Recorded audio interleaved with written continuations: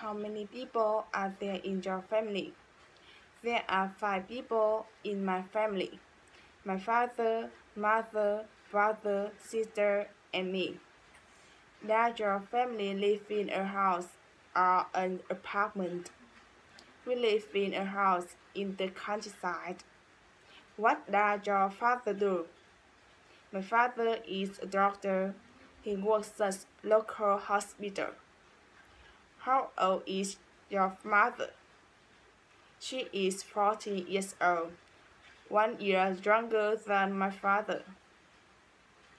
Do you have any siblings? What is her name? Yes, I do. I have one elder brother, David, and one younger sister, Mary. Are you the oldest amongst your brothers or sisters? No, I am not. I, uh, I am the second child in my family. What does your father, mother like? My father likes playing football, and my mother likes cooking.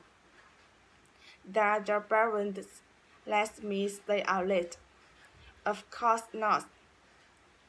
They always ask me to get home before 10 p.m. each night. Do you stay with my parents, your parents? Right now, no, but I used to. That your families usually have dinner together? Yes, we do.